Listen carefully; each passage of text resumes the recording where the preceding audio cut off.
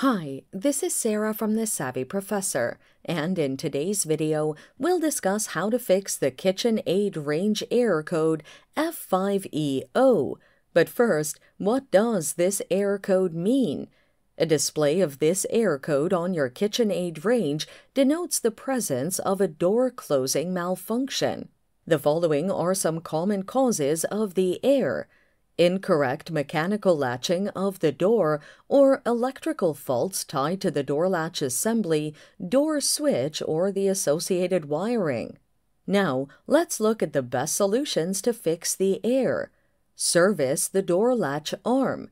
This fix clears any mechanical faults preventing the door from closing. To fix it, open the appliance's door.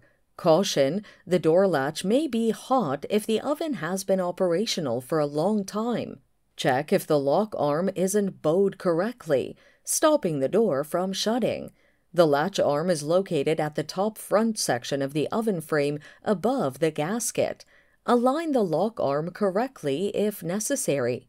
Power cycle the appliance. This clears minor electrical faults causing the error.